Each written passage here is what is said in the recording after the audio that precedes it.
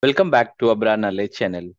Today we are going to explore one more new tool for all the statistic is AP EpiTools. So it's a basically epidemiological calculator. This site, as you can see, I'm just quoting from here. This site is developed and maintained by AusVet, and this site is intended for use for epidemiologists, a scientists who research on the different type of diseases to control, prevent, and all that. And researcher involved in estimating disease prevalence and are demonstrating freedom from disease through the structure survey or uh, this is uh, this tool is very very useful. And you can find that in the hypothesis how how many different tools are there you'll also will find it.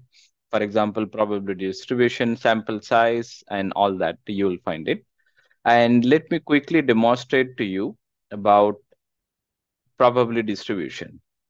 And again, you have a various test here.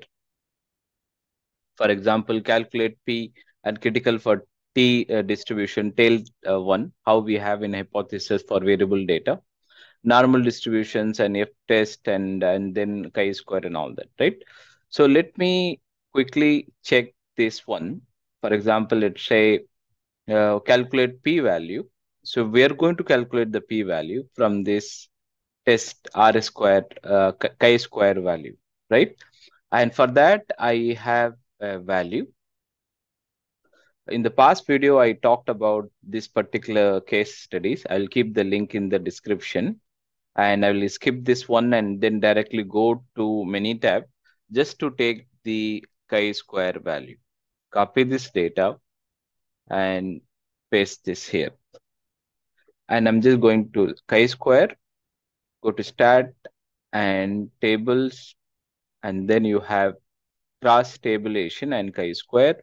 And I'm going to select A to D and I will keep like count and uh, column. I think it's not required at the moment. We will take it later. Chi-square perform it expected value. So it has given, for example, one, you know that one is full recovery, right? One refers to full recovery and uh, two refers to partial recovery and three refers to no recovery, right? That's what we have given here. Full recovery, partial recovery, and no recovery. And it is expected value is that actual value is 98. That means uh, the expected value we may have is 92, right? How to calculate in the past video, I have just done it both in Minitab and Excel also you can calculate this one. And by the way, what we need to find out the value is that chi-square value, right? So this is the value we are going to find out. So in this one, there are two things. There are various method is there. For example, one is Pearson method, one is likelihood ratio chi-square method. Both method I will do, I'll keep the degree of freedom six. Why? Because so you have four hospital and uh, there are three categorical one full recovery partial recovery no recovery no recovery. So 4 plus 3 7 7 minus 1 is 6 so this is correctly calculated. What i'm doing it i'm just going to this side and uh, i'll keep this value 21.209 so 21.209 so we can easily get the uh, p value and then we can keep that 6 also as well as a degree of freedom. So it is uh, taking few seconds to get calculated. A result is now, the result is ready. So it is automatically calculating the p-value. This is excellent, 0.002, right? Exactly the same value we are, we are getting it here, right? Uh, and then more importantly, uh, it also gives that, uh, so from that chi-square value, we have we have got that uh, p value, and then f value also we have got, and then uh, distribution also we have got a degree of freedom, first percentile, second 2.55, and so on. And then this is the density plot for the chi-square. You know, the chi-square distribution is like this. We have got and all that. Similarly, what I will do, I will also will do it this experiment for the other method called likelihood ratio method 19.091. Let me key in. Maybe I will just key in here. 19.091 right so this is the value i'm going to key in and then i'm going to give submit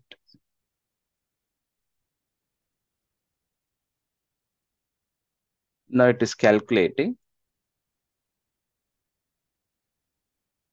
And now you can see that p-value we are getting at 004 and exactly the same thing. Even if the PSM model we got the exactly 0.002 or 17 and decimal values.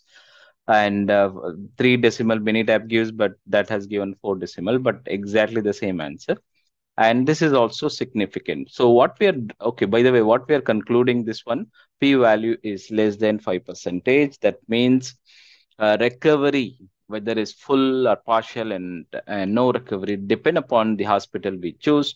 And we see for example if you look at that uh, only 32 is uh, the actual value full recovery but it had happening 45 similarly go for this uh, c also 82 82 but other one is lower and all that right? So this is one of the c or d or both uh, can be significant. That's the reason it is showing this p value is less than 5 percentage. And then we also got the density and all that. And uh, similarly, even if you use for any other samples, uh, I find it very, very useful. For example, let me do it for sample size calculation. And maybe I will take for single mean let's say standard uh, population standard deviation is 2 and confidence level is 95 we can also alter it 95 90 98 99 and all that. How you can do it in Minitab the same way. And let's say desired precision i'm looking for only one right? And i'm just submitting it. It is getting calculated and you can see that this required a 16 samples, right? It is automatically given that. That means we have to test this particular one with the 16 patients in order to draw a conclusion. I, I find it very, very useful for the, any medical students or any medical researchers. This is the fantastic link in order to get the exact uh, uh, exact sample size, not only sample size, you can also estimate a lot of other things. For example, these are all the things you can do. Uh, for example, you can estimate the prevalence value and, and all that. And then you can also do that mean value and uh, a chi-square, F test, significance value, probability distributions. And then you will also find all these value also as well. I will be trying to cover much more in future also as well. Please do like, share, subscribe my channel. You have wonderful day ahead.